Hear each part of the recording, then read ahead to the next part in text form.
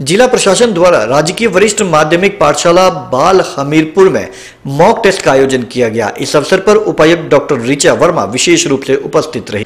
Mock test में जिला के सरकारी स्कूलों की नॉन मेडिकल स्ट्रीम से 146 छात्राओं व मेडिकल स्ट्रीम की उनतालीस छात्राओं सहित कुल दो छात्राओं ने भाग लिया। मॉक परीक्षा में प्रतियोगी परीक्षाओं जैसा माहौल देखने को मिला ताकि बच्चे अपने आप को उस माहौल के अनुसार तैयार कर सके।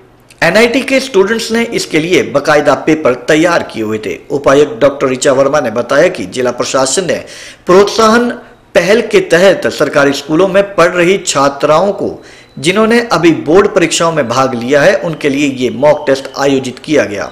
बोर्ड परीक्षाओं के उपरांत अब प्रतियोगी परीक्षाएँ शुरू होने जा रही हैं। प्रतियोगी परीक्षाओं का रियल टाइम माहौल देने के लिए मॉक टेस्ट का आयोजन किया गया। जिला प्रशासन की ओर से एक प्रोत्साहन नाम का इनिशिएटिव पहले भी चलाया हुआ है। ये उसी का ही पार्ट है। आज हमने कोशिश की है कि जितनी भी हमारी गवर्नमेंट स्कूल की लड़कियाँ हैं मेडिकल और नॉन मेडिकल स्ट्रीम से उनका एक मोक टेस्ट करवाया जा रहा है। जैसे कि आप जानते हैं, अभी जल्दी ही बच्चों के बोर्ड के एग्ज़ाम्स ख़त्म हुए हैं, अब इनके आगे कॉम्पिटिटिव एग्ज़ाम स्टार्ट हो रहे हैं।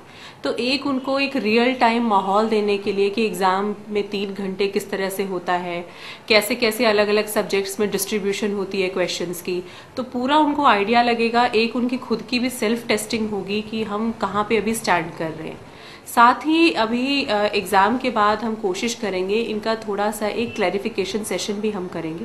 उसमें हमने एक्सपर्ट्स को बुलाया हुआ है, जो बच्चों के डाउट्स क्लियर करेंगे। जैसे जो आज उन्होंने एग्ज़ाम दिया, उनको जो भी उसमें डाउट्स होंगे, या वैसे भी वो इन जनरल पूछना चाहते हैं तो आगे वो उसका क्लियरिंग सेशन भी होगा।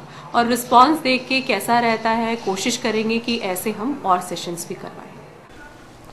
आपको बता दें कि मॉक टेस्ट के दौरान आपको बता दें कि मॉक टेस्ट के माध्यम से जानकारी दी गई कि परीक्षा केंद्र के अंदर तीन घंटे का कैसा माहौल होता है। उन्हें यह भी जानकारी मिले कि अंक का किस प्रकार वितरण होता है। साथ ही इस टेस्ट से वे अपना मूल्यांकन भी कर पाएँगे।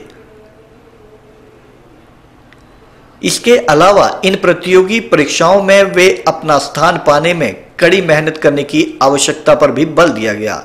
छात्रों को इन, छात्राओं को इन प्रतियोगी परीक्षाओं और अन्य जानकारी देने के लिए एनआईटी से विशेषज्ञ भी आमंत्रित किए गए थे, जिन्होंने इन परीक्षाओं में कामयाब होने के टिप्स दिए। वहीं बाल स्कूल प्रधानाचार्य मंजू ठाकुर ने भी छात्राओं से प्रतियोगी परीक्षाओं के बारे में विस्तृत जानकारी भी मुहैया करवाई।